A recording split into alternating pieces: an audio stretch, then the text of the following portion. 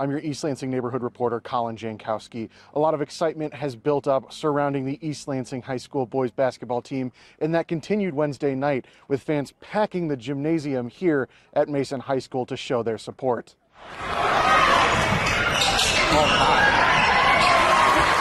At 20 and 2 on the year and undefeated in the CAAC this season, the Trojans were one of the best teams in the state, and the excitement from the neighborhood was evident in the gym Wednesday night as East Lansing began what they hope will be a run to a state championship with a win over Holt.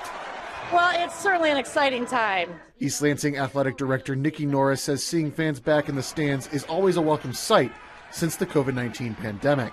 We haven't had crowds like this since before COVID. And so it was really nice this year. We had a couple really full games. Um, it's exciting for our athletes to play in that environment, but it's also very exciting for our student section and our community to be a part of that. And the environment certainly helped the players, with East Lansing securing a 59 41 victory Wednesday night. The Trojans will move on to face Okemos on Friday.